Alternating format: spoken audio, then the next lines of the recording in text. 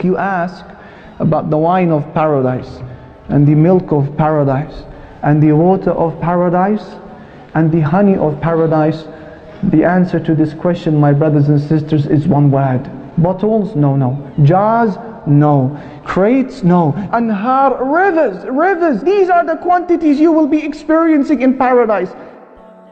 In paradise, there are rivers of water, the taste of which never pollutes. There are rivers of milk, which never goes off.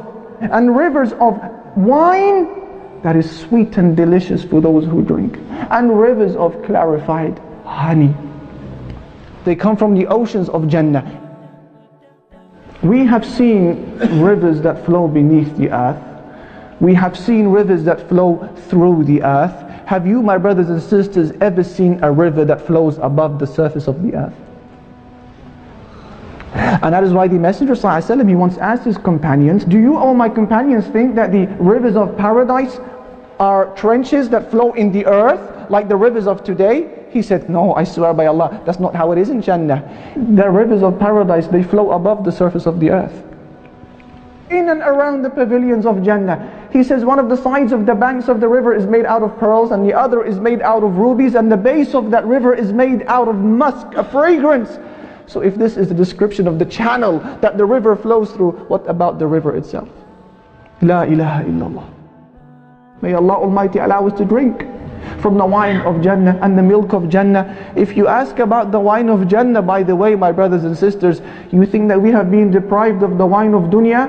Wallahi, just read about the wine that Allah has prepared in Jannah. You will say, Alhamdulillah for the religion of Islam. What are the effects of the wine of Jannah? There are no bad effects in it and it won't intoxicate people. What is the color of the wine of Jannah and what is its taste? Allah says it is white and it is delicious for those who want to drink. What is the purity of the wine of Jannah? Allah says Allah will give them a purified drink to drink from. What is the experience of drinking the wine of Jannah? Allah Almighty He says they will be given to drink from a sealed wine, the end sip of which will be misk. What a miserable trade, what an ignorant trade therefore it is for a person to exchange this type of wine for the wine of dunya today. Whether a person is drinking the wine of dunya or selling the wine of dunya or squeezing or pressing or transferring the wine of dunya. What a miserable trade it would be to sell that dunya in the akhirah, that wine in the akhirah for the wine of the dunya today. The Prophet ﷺ would say, whoever drinks wine in this world will not drink it in the hereafter.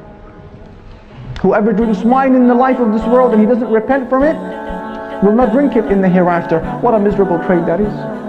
Allahu Akbar.